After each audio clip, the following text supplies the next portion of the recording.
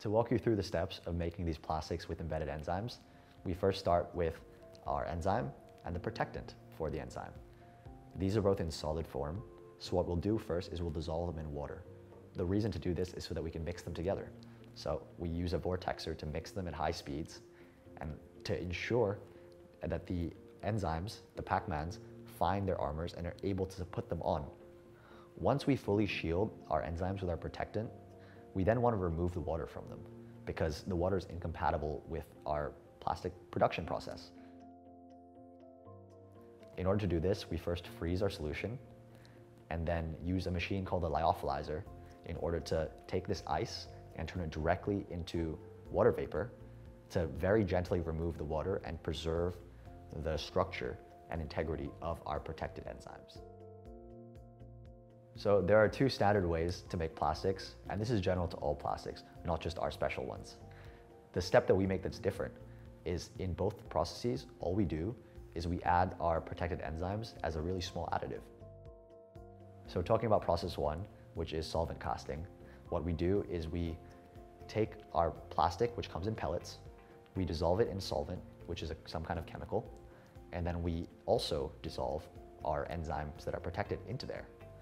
We mix it, and then we drop cast it onto a smooth flat surface, wait for it to dry, and then we can peel off a plastic film.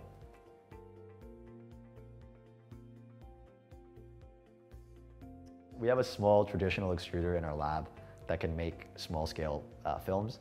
And these days, a more popularized home version of this is a 3D printer, which effectively does the same thing.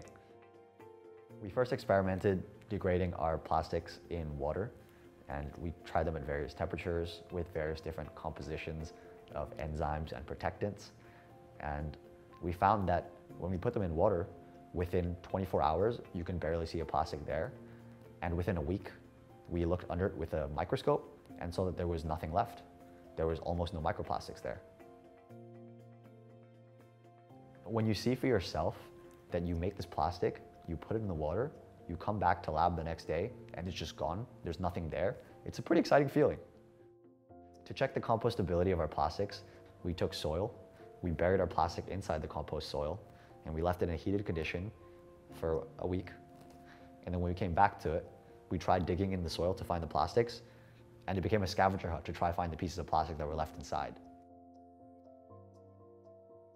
To compare our plastics to those currently on the market that are marketed as so-called biodegradable or compostable, we took those plastics and we put them into water and soil in the same way without adding enzyme into them. And after a week, after a month, when we pulled them out, they looked almost identical with only very minimal degradation observed. Our world has many kinds of needs for many different kinds of plastics. Thick, thin, high temperature use, low temperature use. And at the end of the day, we want to be able to tweak and design the formulation of our enzymes and protectants such that we can degrade them all.